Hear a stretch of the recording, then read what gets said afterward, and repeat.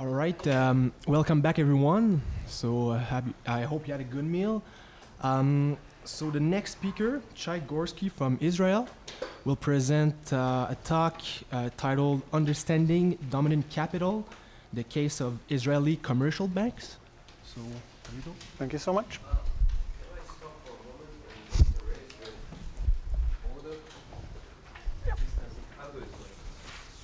It's okay, I can do it.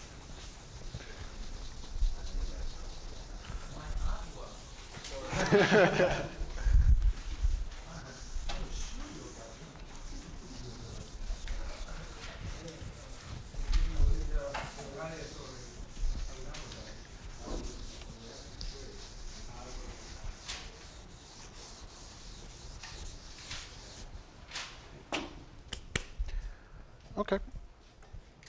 Good afternoon. Yeah, now the stop timer is work working, everything is fine. The following presentation is based on two main sources. First, the research done by Bichler and Nitzan in the global political economy of Israel, chiefly the outline of historical transformations of Israeli dominant capital. Another is the theoretical framework laid out in the global political economy of Israel and further formulated in Capital as Power. Although I chose to use examples from the Israeli reality, the main purpose of the presentation is to demonstrate the potency of analytical quantitative tools in the empirical assessment of capital. Some of the calculations presented here will explore the left-hand side of the capitalization equation, namely differential accumulation in its crystallized final appearance as relative stock price. I will attempt to add quantitative aspects to some of the historical power processes described in the global political economy of Israel in order to enhance our capacity in exploring similar processes in other contexts. The second part of my presentation is a tentative approach to develop the delta of the right-hand side, the risk factor, one of the elementary particles of capitalization. I will endeavor to deline delineate a quantitative approach to the rudimentary ideas about risk from capital as power to deepen the debate on the nature of risk and its measurement. I will conclude by proposing ensuing research questions to further and expand our understanding of dominant capital beyond the limited scope of the examples here shown. To recap, Bichler and Nitzan suggest the following capitalization equation as the basic algorithm of the capitalist nomos. K equals E times H divided by RC times delta. Whereas K is capitalization, E future earnings, H hype, RC, the normal rate of return, and delta, a risk coefficient. Clear so far? Great. Uh, we add an ind index D to the formula in order to indicate dominant, and we get KD equals HD, etc. We will regard the previous formula as representing non-dominant capitals, and when dividing the two, we arrive at the differential concept. Now, since the founding of Israel, the two to five predominant commercial banks have been well rooted in the highest echelons of its political economy. This is why, for the purposes of this inquiry, I chose to use the corresponding Tel Aviv Stock Exchange branch index to represent dominant capital. Indeed, the branch index includes other banks as well. However, these have always been relatively small, and the historical tendency is of consolidation. In order to characterize non-dominant capital, I chose a second Tel Aviv Stock Exchange index, Land, Construction and Development. This index consists of hundreds of smaller firms. Unlike the banking sector, which is almost fully represented in the weighted average and functions as an oligopoly, the thousands of private constructors operating in this field render it relatively competitive. Moreover, the share of Palestinian workers in construction had risen consistently throughout the years to nearly 50% of the workforce today. This fact must be taken into account, in, to my opinion, and is intrinsic to the validity of the dominant-non-dominant differentiation in Israel, at least until now. This tendency is prevalent in many of the Israeli sectors. On the other hand, the key sectors of water, electricity, military, and finance, not excluding, excluding banking, have always remained almost exclusively Jewish. As Emmanuel Farjoun pointed out in the late 1970s, this dual labor market reflects a dual economy. the big economy, including the commercial banks with its uh, union, Jewish unionized workforce, and the small economy with its numerous construction contractors based on Palestinian menial work. Thus, the first chart will present a comparison between the aforementioned indices and the ratio of the first to the second. Visible? Great. So the top thin black line stands for the commercial banks index. The thin gray line for the construction index, and the thicker colorful line below is the ratio. The ratio of the first to the second depicts in a nutshell the history of Israeli capitalism. Four major accumulation regimes are reflected as waves in this history. The slope of the trend line is approximately 8% per year, meaning that the commercial banks have increased their power over the construction capitalists at that rate. Now, the detailed history of these accumulation regimes is brought in the global political economy of Israel. However, I will review it shortly because I think it is necessary for my argument. So, following the 1948 transition to state capitalism, emerged a breadth regime that was marked with the loot of the Palestinians, large foreign capital inflow in the form of the German Holocaust restitution payments, plus aid and loans, and large Jewish immigration waves. I'm talking about the leftist wave, the black wave. Uh, on the surface, this external breadth regime was structurally characterized by the supremacy of the government. Under the surface of the government ultimate control, the dominant capital bloc, the Israeli big economy of the 1970s and 80s, consolidated. During the 1950s and the beginning of the 1960s, the banks composed an integral part of the state capitalist mechanism. At the same time, the major banks were busy swallowing up the declining numbers of small competitors and cohering with the industrial sector, formally and informally. During 1965 and 1966, a severe recession caused by the government gave a final boost to the consolidation process. Hundreds of small to medium firms went bankrupt or were merged into the larger groups. However, the 1967 war supplied the declining breadth regime with cheap Palestinian workforce and a captive market, and prolonged its survival by a few years. Yet, by the early 1970s, the dual political economy came to front, and the dominant capital, as the prominent component of the big economy, took the stage as the main force in the Israeli political economy, driving a depth regime against the small economy and the rest of society. And now we are in the orange or yellow, I don't know, how to call it, wave. Predominant in this regime were the arms trade and finance sectors, using stagflation and war as main instruments of accumulation. The banking groups had undergone structural and personal shifts and were ready to push on to the next phase of Israeli dominant capital and maximize utilization of the newly implemented depth regime. The second half of the 1980s, despite a carefully planned hyperinflation and arsenals of stock market swindles that were very lucrative for banks for over 10 years, viewed a decline in the relative power of dominant over non-dominant capitalists. Israeli capital entered a new breadth regime beginning in the early 1990s, only this time it was much less, less Israeli, and we're now in the blue wave. Privatization, so called, and transnationalization had transformed dominant capital once again. Between 1995 and 2005, the major banks have been, have, were transferred to private hands, often foreign. However, in the early 2000s, with the global trend, a new wave has appeared which corresponds with the current global crisis, pink wave, and this new depth regime, which has sprung to life, is still prevalent globally and in Israel. Now let us have a second look into the aforementioned division of waves. Although I gave it color to four waves, I colored four waves, a minimum point amidst the yellow one stands out, and somewhere around the early 1980s, and might urge us to question the validity of this uh, aforementioned division. I'm talking about the minimum point here. Yep. For the Israeli collective consciousness, this low point in the relative power of banks during that period might evoke the memory of the October 1983 banks crisis, in which the bank stocks crashed, dragging along with them most of the stocks in the market.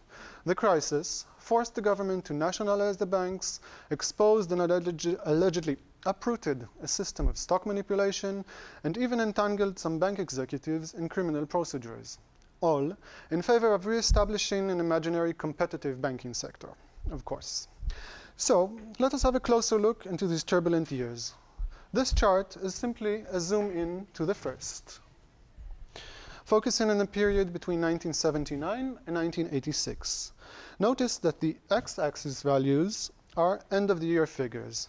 For example, the maximum point in the ratio in 1985, I've lost the mouse again, here it is. This point that is the December 31st, 1985 ratio of indices quotes. Now, the minimum point is not at the end of 1983, as we might have expected in accordance with the accepted narrative. Rather, it occurs at the end of 1982. And of course, I'm referring to this point. The actual banks crisis is not the 1983 stock crash. Although during 1982 both indices rose, the construction index rose faster than the banks index. Accordingly, the ratio falls to its minimum at the end of 1982. This, and no other, is the crisis from the differential point of view. In fact, as the bank's managers realized, the stocks manipulation was losing, its differential effectiveness, and they initiated the stock rush of 1983. And a good bargain they struck. Although both indices fell during 1983, the non-dominant one dropped more than the dominant. Differentially, 1983 was not a crisis year, but marked the beginning of a new surge in the power of banks. The government paid the banks' debts with tax money, the so-called nationalization, some of the managers related to the stock manipulation were indeed sacrificed, but the banks moved into the future to lead the last years of the depth regime with a three-digit inflation rate. Indeed, a grave change took place, but not grave enough to alter the entire accumulation regime. As mentioned earlier, the final demise of the depth regime was not perceived till the early 1990s. And another point I would like to illustrate. The next chart plots again the same are, are two indices in thick lines, only this time normalized to 1980 equals 1, hence perhaps the graphical disc discrepancy, and adds other Tel Aviv Stock Exchange indices plotted in dotted gray lines. The pattern remains. During 1982, the bank's index rose less than the others, and during 1983, fell less than the others. What is interesting here is that the order of the series almost cor fully corresponds to the ranking of the indices according to the number of firms in each index, from the smallest number of banks included in the commercial banks index to the largest number of construction public companies in the corresponding index. The next analysis I will present is also quite simple from a technical point of view, but I find it to be very revealing. This chart plots a series of five years moving correlations between the commercial banks and construction indices. Throughout almost all recorded years, there has been a very tight correlation between the indices. The two major aberrations happened during 1966 till 1970 and 1993 till 1997. Generally speaking, and even as I've been taught in finance class, perhaps the one actual empirical fact mentioned in that class, all the stocks and markets tend to move in tandem in the medium to long haul. And indeed, this tendency is clear from this chart. This fact only renders the strong deviations more suspicious. On the surface, both these five years periods were during breadth regimes. In retrospect, they may have signaled the decline in effectiveness of, the, of these breadth regimes and the need for the entire system to initiate a change of tactics or an entire accumulation regime. Moreover, not only do stock prices tend to rise or fall together throughout the years, but also the branch's market values for both short and long terms. The correlation coefficient of the commercial banks and construction market values throughout 1974 till 2010 is 0.96. Now, using the same technique of five years moving correlations on the market values series, we get this chart. This time, uh, very, sim very similarly, we have one aberration in the period between 1987 and 1991. Recall that these years were the final years of a long depth regime. And so, using the simple technique of five years moving correlations on the price or market value series forms a seemingly powerful tool to analyze and outline periods of profound structural change, a change of accumulation regime. Note, note that the 1983 till 1983 turmoil, 1982, sorry, till 1983 turmoil, leaves a relatively small, even though not insignificant track in these graphs.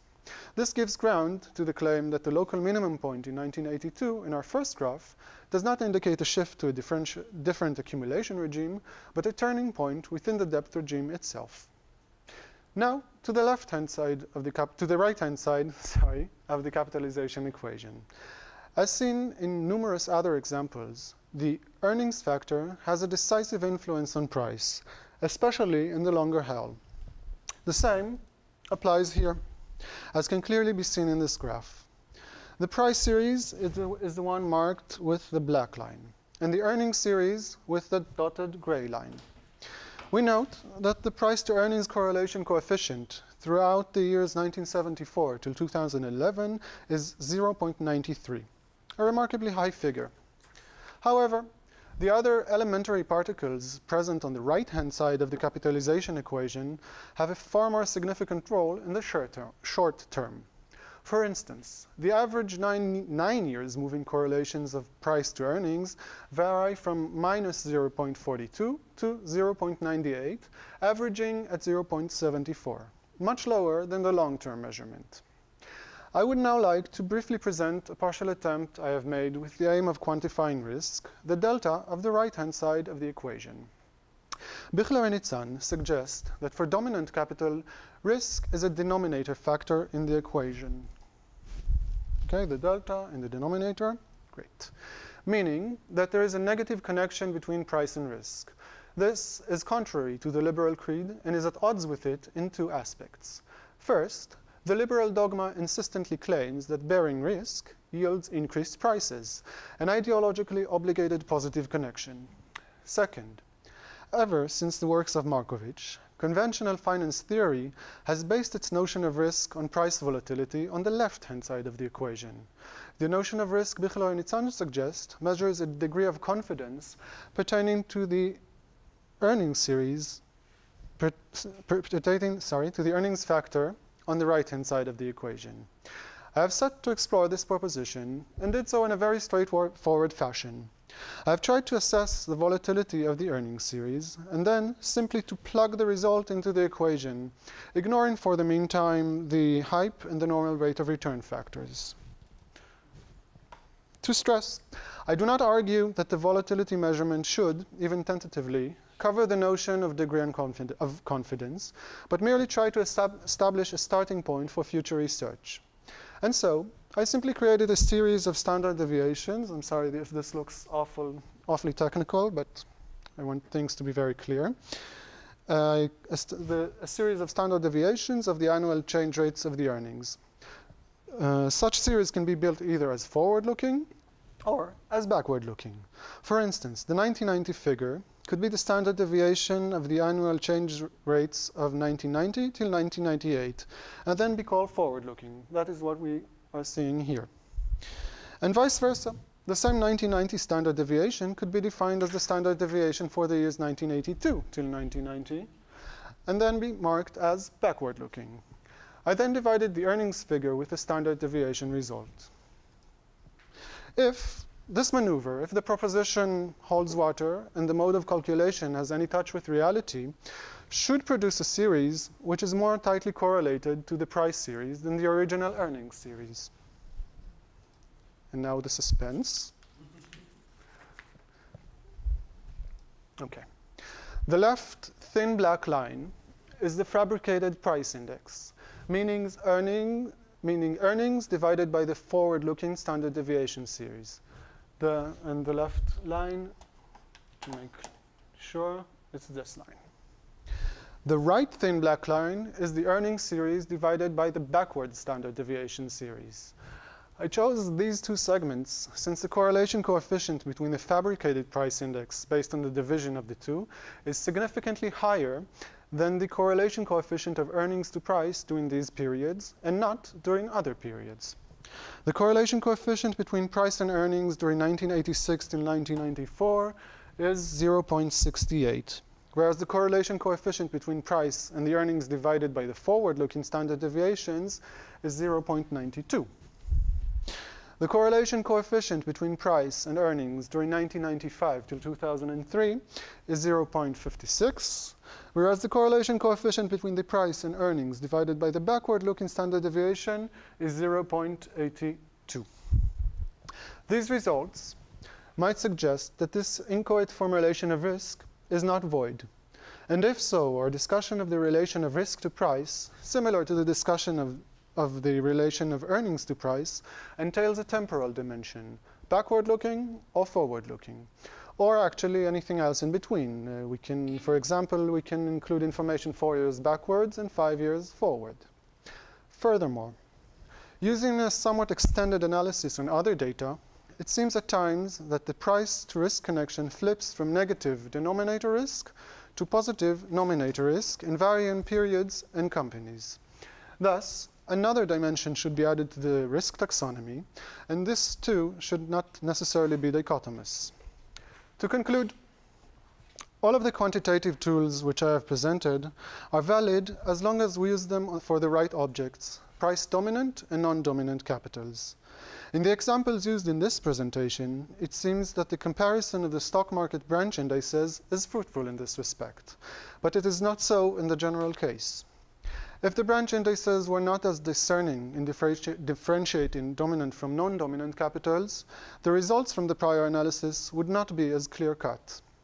I believe that in order to widen our analysis and render our discourse more rigorous, two interconnected features are missing a systematic mapping of owner ownership relations or perhaps power blocks as we might hear later on the conference, and a quantitative measure of the dominancy of a business unit, which I, I think it's, a, it's, an issue also addressed in one of the following uh, presentations. For instance, just rudimentary ideas, Kalecki's degree of monopoly or other formulations of markups might serve as a good starting point for assessing dominancy. Yet, of course, since the framework of neither a single corporation nor branch is sufficient to elucidate capitalist relations, we would need, we would need to use similar quantifications on rather more complex entities. The, again, the, the power blocks or ownership structures, I still don't have any concrete ideas. Uh, that's about it. I'm very happy to be here and to have people to discuss and to le learn from. Thank you.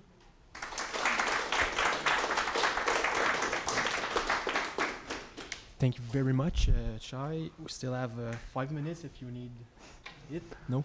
Sorry, All right. so, so, let's I was move told to it's not an, a sin to go under time on conferences. Right. I don't know. Good job.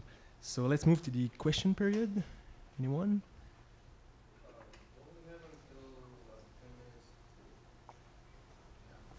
Hmm? I thought we had from 05 to questions, commentaries?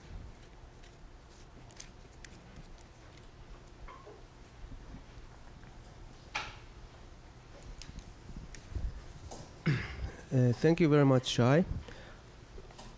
I think that uh, your presentation has two dimensions. One dimension is the Israeli case, and the other dimension is the uh, technical proposition that uh, you presented regarding the measurement of of risk or the beginning of measurement of risk. And uh, possibly one way to expand that I think would be to examine uh, the indicators in many other countries uh, and at many different levels. So this is quite independent of the situation in Israel, and perhaps the situation in Israel is uh, just a minor case study. Uh, in my opinion, there is nothing to prevent you from uh, developing a, multi-level um, dimensional kind of analysis to try to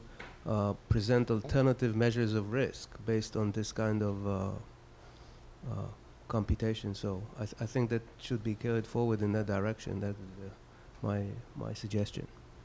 Um, certainly, I can can address uh, your comment. I first first of all, I'm I'm not an official student anywhere, so I have some problems accessing data. But uh, the, for instance, I've tried on the little data I managed to, to collect to do the same uh, to do the same analysis. And as I've mentioned in the end of the presentation, sometimes we the the relation between nominator and nominator and denominator risk flips. It, the risk seems to act as in the liberal story. Now, I of course, I will, and uh, as I hope to get access to data, data soon enough, uh, will expand the the analysis. But I'm, but the reason I chose the Israeli the Israeli case study is because I think we have a very clear differentiation of dominant from non-dominant capital, and for that reason, I also went through some of the briefly through the historical sketch to try and convinced that this is a very clear cut of dominant and non-dominant differentiation. And uh, once we lose differ this differentiation, um, our analysis is much weaker. So this is so certainly i must do it, but it, it, I think it has to go hand in hand with other research as well. It's not independent. It's not independent risk uh, surveys on the data I know is specific companies, uh, sectors of whatever stock exchange market, or these these are these are the measurements I know, and I don't think there are enough.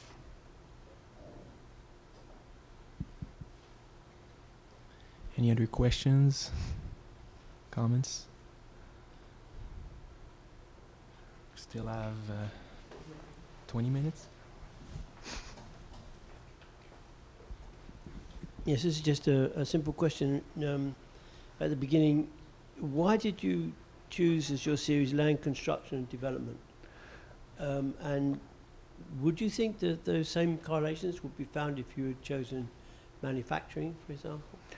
Okay, I've reviewed other. I I went over other um, branches as well before I decided to use these two specific branches.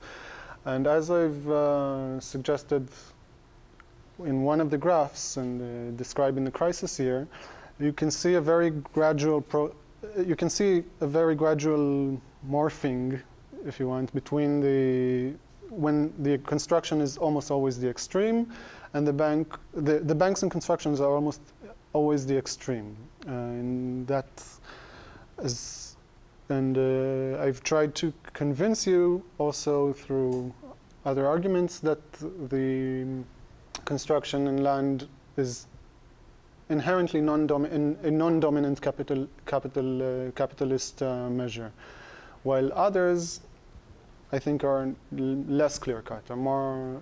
I mean, manufacturing, for instance, has ties, has much, has the index itself includes much larger factories that has much that are much closer or are dominant capital.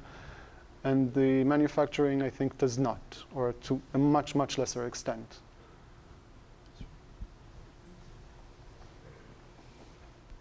Uh, I don't know if the question now is gives a, you, can answer that based on your research but is there any connection um, between the current um, revolt, so to say, or demonstrations in Israel, and that story that you are telling?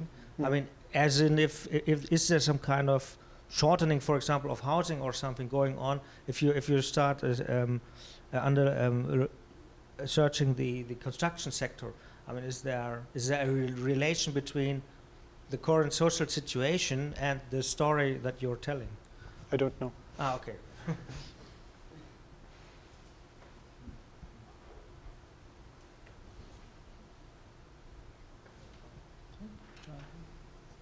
there anyone else? Trey, you want to pass it to Trey first? Yeah.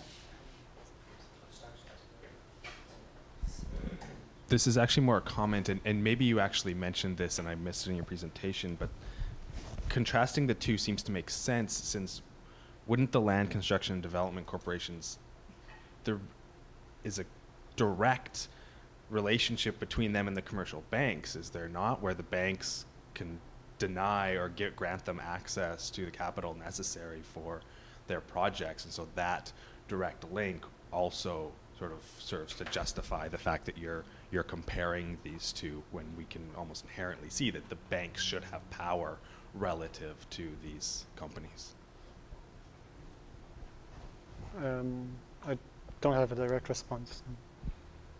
Uh, I'd like to answer because you said you don't know uh, to Ulf uh, because that's a question that has to do with resistance. Uh, I think that in Israel, what we saw last year uh, uh, is a situation quite similar to the underpinnings of the so-called Arab Spring. Th- there have been studies that demonstrate that quite a lot of the uprisings in the less developed countries in recent years are tightly correlated with rising prices, with inflation, essentially with the rising cost of living. And in Israel, uh, the uh, uprising, if you can call it that way, is in some sense uh, sort of the revolt of the homeless middle class. So these are people essentially uh, consider themselves professionals or uh, with prospects of being professional and are unable to actually uh, purchase a home or, or even afford a rent. Now, this has to do with the price of land, whereas the construction sector is, is uh, fairly fractured and small and what a neoclassicist would say competitive. So the construction sector is not really the, the sector that benefits from rising uh, prices of land. Uh, this will be uh, this will have to do with the people who actually uh, own the land or uh, the land in Israel, of course, is leased from the government for a, a long period of time, but it's not really reflected in the construction sector. So the construction sector mi- might include, you know, small contractors that actually build houses. So it's very much connected to prices, just like in the Arab Spring, but you wouldn't see it actually in the index of construction, the construction sector. Before we start Chair, would you like to respond? No, he has a question. Um, sorry, I was, was a couple minutes late, so maybe you said it at the start. Um, listing on the Tel Aviv Stock Exchange is going to be a self-selecting bias of a form. I mean, is is is are the listed firms that are represented in the in the uh, I mean, I assume all commercial banks are listed, but is it the case that there are many small firms in the construction industry, so that what is listed is is different from a representation of the sector as a whole?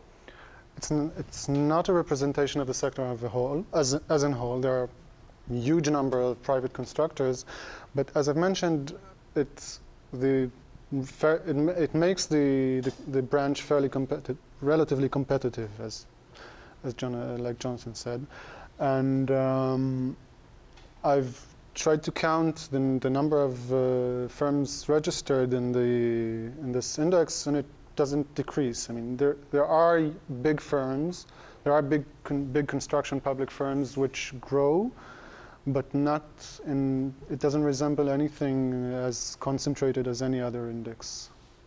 I hope this answers your question. I'm not sure.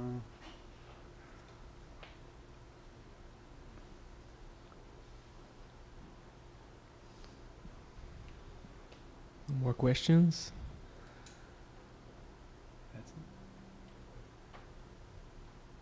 So, are we moving to the next presentation? Th- Thank you very much, John. Thank you.